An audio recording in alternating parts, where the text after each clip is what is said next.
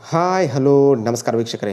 ಇದೀಗ ಒಂದು ಪ್ರಮುಖವಾಗಿರ್ತಕ್ಕಂಥ ಸುದ್ದಿ, ನೈಋತ್ಯ ರೈಲ್ವೆ ಹುಬ್ಬಳ್ಳಿಯಲ್ಲಿ ಖಾಲಿರ್ತಕ್ಕಂಥ ವಿವಿಧ ಹುದ್ದೆಗಳಿಗೆ ಸಂಬಂಧಪಟ್ಟಿರುವ ಹಾಗೆ ಇದೀಗ ಒಂದು ನೇಮಕಾತಿ ಸೂಚನೆ ಬಂದಿರುವಂಥದ್ದು. ಬನ್ನಿ ಸ್ನೇಹಿತರೆ, ಹಾಗಿದ್ರೆ ವಿಡಿಯೋನ ಸ್ಕಿಪ್ ಮಾಡದೆ ಪೂರ್ತಿಯಾಗಿ ನೋಡೋಣ. ನೈಋತ್ಯ ರೈಲ್ವೆಯಲ್ಲಿ ಇರ್ತಕ್ಕಂಥ ವಿವಿಧ ಹುದ್ದೆಗಳು ಯಾವುವು ಮತ್ತು ಆ ಹುದ್ದೆಗಳಿಗೆ ಇರುವಂತಹ ವಿದ್ಯಾರ್ಹತೆ ಏನು? ಮತ್ತು ಯಾವ ರೀತಿ ಅರ್ಜಿ ಸಲ್ಲಿಸಬೇಕು ಅಂತ ಅನ್ನೋದನ್ನು ನೋಡೋಣ. ಸ್ನೇಹಿತರೆ, ನೋಡಬಹುದು, ಇಲ್ಲಿ ಕ್ರೀಡಾಕೂಟದ ಅಂದರೆ ಏನು ಇಲ್ಲಿ ಇರ್ತಕ್ಕಂಥ ಏನು ಹುದ್ದೆಗಳಿವೆ, ಈ ಕ್ರೀಡಾಕೂಟ ಅಡಿಯಲ್ಲಿರ್ತಕ್ಕಂಥ ನೇಮಕಾತಿ ಇದಾಗಿರ್ತಕ್ಕಂಥದ್ದು ಸ್ನೇಹಿತರೆ. ಅಂದರೆ ಈ ಸ್ಪೋರ್ಟ್ಸ್ ಕೋಟ ಅಂತ ಇರುತ್ತೆ, ಆ ಸ್ಪೋರ್ಟ್ಸ್ ಕೋಟಾದ ಅಡಿಯಲ್ಲಿ ಈ ಒಂದು ನೇಮಕಾತಿ ಆಗ್ತಾ ಇರ್ತಕ್ಕಂಥದ್ದು. ಈ ಒಂದು ಹುದ್ದೆಗಳಿಗೆ ತಾವು ಅರ್ಜಿಯನ್ನು ಸಲ್ಲಿಸಬೇಕಾದ್ರೆ ಕನಿಷ್ಠ ಹದಿನೆಂಟು, ಗರಿಷ್ಠ ಇಪ್ಪತ್ತೈದು ವರ್ಷದ ಒಳಗಡೆ ವಯೋಮಿತಿ ಆಗಿರಬೇಕು ಅಂತ ತಿಳಿಸಲಾಗಿದೆ ಸ್ನೇಹಿತರೆ. ಇಲ್ಲಿ ನೋಡಬಹುದು ಈ ಒಂದು ಹುದ್ದೆಗಳು ಗ್ರೂಪ್ ಸಿ ವಿಭಾಗದಲ್ಲಿ ಬರ್ತಕ್ಕಂಥದ್ದು. ಈ ಗ್ರೂಪ್ ಸಿ ಹುದ್ದೆಗಳಿಗೆ ಸಂಬಂಧಪಟ್ಟಿರುವ ಹಾಗೆ ನೀವು ಅರ್ಜಿಯನ್ನು ಸಲ್ಲಿಸಬೇಕಾಗಿರುತ್ತೆ.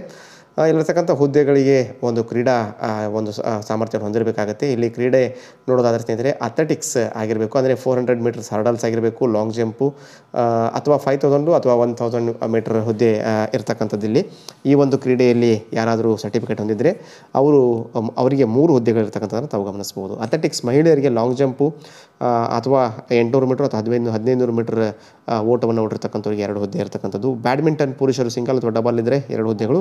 ಕ್ರಿಕೆಟ್ ಆ, ಮೂರು ಹುದ್ದೆಗಳಿರ್ತಕ್ಕಂಥದ್ದು ವೇಟ್ ಲಿಫ್ಟಿಂಗ್ಗೆ ಎರಡು ಹುದ್ದೆಗಳು. ಟೇಬಲ್ ಟೆನ್ನಿಸ್ ಒಂದು ಹಾಕಿ ನಾಲ್ಕು ಹುದ್ದೆಗಳಿರ್ತಕ್ಕಂಥದ್ದು ಸ್ವಿಮ್ಮಿಂಗ್ ಎರಡು ಹುದ್ದೆಗಳು ಗಾಲ್ಫ್ ಎರಡು ಹುದ್ದೆಗಳು. ಹೀಗೆ ಇಪ್ಪತ್ತೊಂದು ಹುದ್ದೆಗಳಿಗೆ ಸಂಬಂಧಪಟ್ಟಿರುವ ಇಲ್ಲಿ ಒಂದು ನೇಮಕಾತಿ ನಡೀತಾ ಇದೆ ಸ್ನೇಹಿತರೆ. ಈ ಹುದ್ದೆಗಳಿಗೆ ನೀವು ಅರ್ಜಿ ಸಲ್ಲಿಸಬೇಕಾಗಿದ್ದರೆ ಕಡ್ಡಾಯವಾಗಿ ನೀವು ಈ ಸ್ಪೋರ್ಟ್ಸಲ್ಲಿ ಪ್ರಾವೀಣ್ಯತೆ ಹೊಂದಿರಬೇಕು ಮತ್ತು ಸರ್ಟಿಫಿಕೇಟ್ ಹೊಂದಿರಬೇಕು. ಜೊತೆಗೆ ವಿದ್ಯಾರ್ಥಿಯನ್ನು ಕೂಡ ಇಲ್ಲಿ ನಿಗದಿಪಡಿಸಿರ್ತಕ್ಕಂಥದ್ದು. ಕನಿಷ್ಠ ತಾವು ಈ ಹುದ್ದೆಗಳಿಗೆ ಹನ್ನೆರಡನೇ ತರಗತಿ, ಅಂದರೆ ದ್ವಿತೀಯ ಪಿ ಯು ಸಿಯನ್ನು ಉತ್ತೀರ್ಣರಾಗಿರಬೇಕು. ಅಥವಾ ನೀವು ಐ ಟಿ ಐ ಮುಗಿಸಿರಬೇಕು ಜೊತೆಗೆ ಅಪ್ರೆಂಟಿಸ್ಶಿಪ್ ಸರ್ಟಿಫಿಕೇಟ್ಗಳನ್ನು ಹೊಂದಿರಬೇಕು ಅಂತ ಹೇಳಿದ್ದಾರೆ, ಅಥವಾ ಎಸ್ ಎಸ್ ಎಲ್ ಸಿಯನ್ನು ಹೊಂದಿರಬೇಕು ಅಂತ ಹೇಳಿದ್ದಾರೆ. ಜೊತೆಗೆ ಎಸ್ ಎಲ್ ಸಿ ಹೊಂದಿರತಕ್ಕಂಥ ಅಭ್ಯರ್ಥಿಗಳು ಏನಾದರೂ ಇದ್ದರೆ ಅವರಿಗೆ ಮೂರು ವರ್ಷಗಳ ಅವಧಿಗೆ ತರಬೇತಿಗಾಗಿ ನಿರ್ದೇಶಿಸಲಾಗುತ್ತೆ ಅಂತ ಕೂಡ ತಿಳಿಸಲಾಗಿದೆ ಸ್ನೇಹಿತರೆ. ಈ ಒಂದು ವಿದ್ಯಾರ್ಥಿಯನ್ನು ಹೊಂದಿರತಕ್ಕಂಥವರು, ಜೊತೆಗೆ ಈ ಏನು ಈ ಮೇಲೆ ತಿಳಿಸಲಾಗಿರತಕ್ಕಂತಹ ಸ್ಪೋರ್ಟ್ಸ್ ಕ್ರೀಡೆಗಳಲ್ಲಿ ತಾವು ಪ್ರಾವೀಣ್ಯತೆಯನ್ನು ಅಥವಾ ಸರ್ಟಿಫಿಕೇಟನ್ನು ಹೊಂದಿದ್ದರೆ ತಾವು ಅರ್ಜಿಯನ್ನು ಸಲ್ಲಿಸಬಹುದಾಗಿರುತ್ತೆ ಸ್ನೇಹಿತರೆ. ಅರ್ಜಿಯನ್ನು ಯಾವ ರೀತಿ ಸಲ್ಲಿಸಬೇಕು ಅಂತಂದರೆ ತಾವು ಇಪ್ಪತ್ತೆಂಟು, ಹನ್ನೊಂದು, ಎರಡು ಸಾವಿರದ ಇಪ್ಪತ್ತು ಅಂದರೆ ನಿನ್ನೆ ಹಿಡಿದು ಈ ಒಂದು ಅರ್ಜಿಯನ್ನು ಸಲ್ಲಿಸಲಿಕ್ಕೆ ಅವಕಾಶವನ್ನು ಕೊಟ್ಟಿರ್ತಕ್ಕಂಥದ್ದು.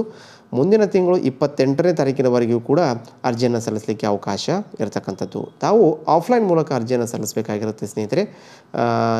ಅದಕ್ಕೆ W W dot R R C Hubli dot ಇನ್ಗಾದರೂ ಭೇಟಿ ನೀಡಬಹುದು, ಅಥವಾ W W W dot S W R dot Indian railways dot G O V dot in. ಈ ಎರಡೂ ವೆಬ್ಸೈಟ್ ವಿಳಾಸಕ್ಕೆ ಭೇಟಿ ನೀಡಬಹುದು ಮತ್ತು ಅಲ್ಲಿರ್ತಕ್ಕಂತಹ ಅರ್ಜಿ ನಮೂನೆಯನ್ನು ಸಂಪೂರ್ಣವಾಗಿ ಭರ್ತಿ ಮಾಡಿ. ಸಹಾಯಕ ಸಿಬ್ಬಂದಿ ಅಧಿಕಾರಿ ಅಥವಾ ಎಚ್ ಕ್ಯೂ ಮತ್ತು ಜನರಲ್ ಪ್ರಧಾನ ಮುಖ್ಯ ಸಿಬ್ಬಂದಿ ಅಧಿಕಾರಿಗಳ ಪರವಾಗಿ ತಾವು ಹುಬ್ಬಳ್ಳಿಗೆ ಅದನ್ನು ಕಳಿಸ್ಕೊಡ್ಬೇಕಾಗುತ್ತೆ. ಹನ್ನೆರಡು ಒಂದು ಎರಡು ಸಾವಿರದ ಇಪ್ಪತ್ತೊಂದರ ಒಳಗಾಗಿ.